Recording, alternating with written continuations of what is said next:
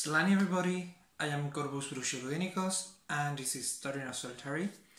This week we're discussing about being paid to teach magic or to teach the craft and whether or not that's acceptable and whether or not that makes you uh, more of a witch than with other ways of learning.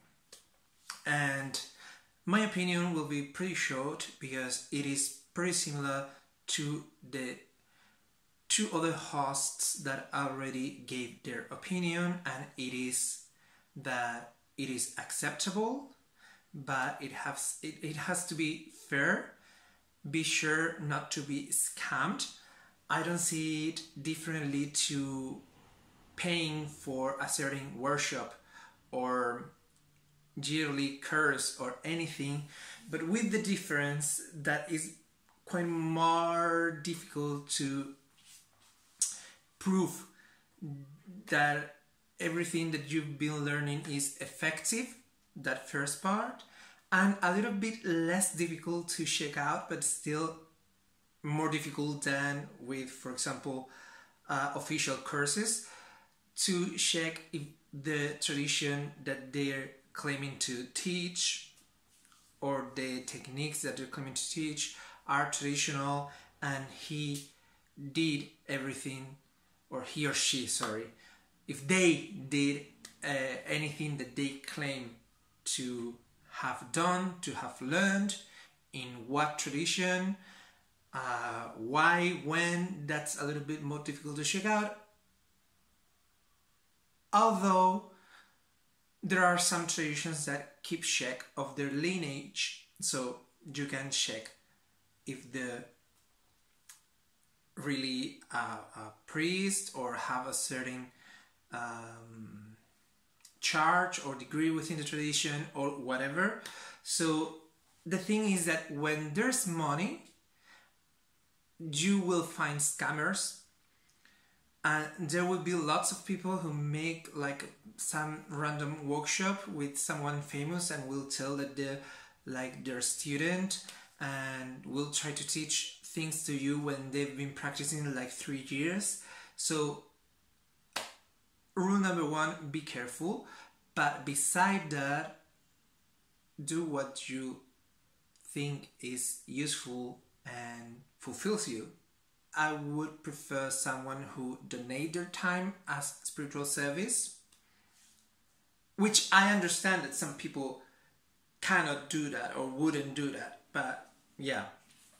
And if not, books, testing, uh, reading, learning, practicing.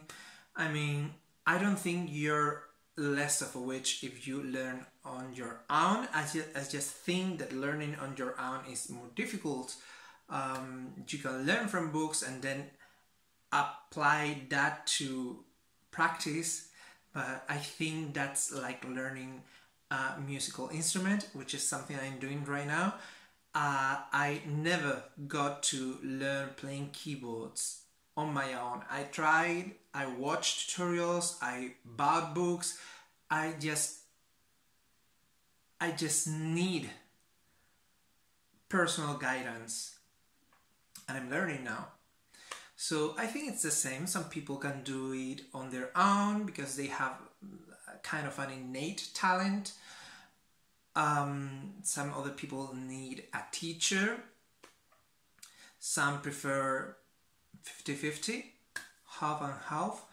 And everything's okay. Just be sure that you're not scammed, that you're not taken advantage of and all these things that may happen when you not only go for a t-shirt but you pay them especially if it's big amounts of money you should be especially careful um, and make all the background checks that you need and make sure that that's really what you want before going for it.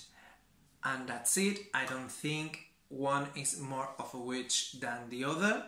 What I think is that religion, not magic, shouldn't be taught in exchange of uh, exorbitant amounts of money because I think that is a disservice for the gods and goddesses. But beside that, I understand that some people prefer to be paid, just don't be abusive.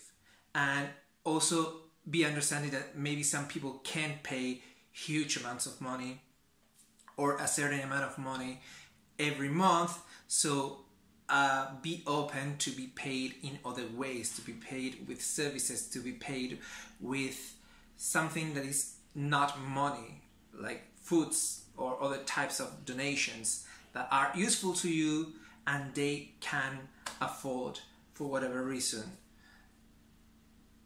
And there's a card there, and yeah, this this this room it's not good to not being disturbed. But yeah, that's it. Please tell me what you think in the comments down below. Um, thanks for watching. We'll see each other next Wednesday. May the way the way, may the gods and non-gods watch over you all, and bye.